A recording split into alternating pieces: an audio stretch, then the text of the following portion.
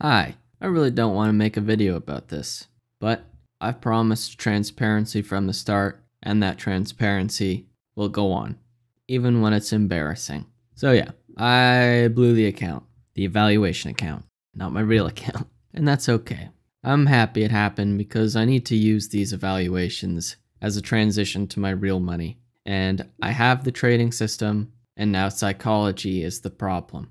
I can fix psychology, slowly, but surely. The problem with today is that I took like seven losses in a row, or something like that. And the reason that happened is completely my fault for failing to read that volatility was low, very low.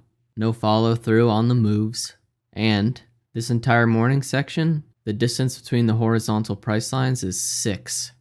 Usually, it's 15. 15!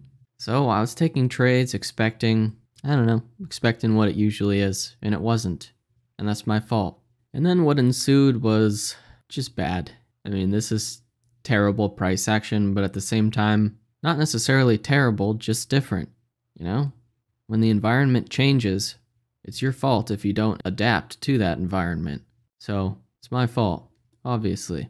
And then I sort of noticed that I was about to blow the account like $200 away. So I was like, screw it, sized up. And the funny thing is that I made it to break even and I kept going.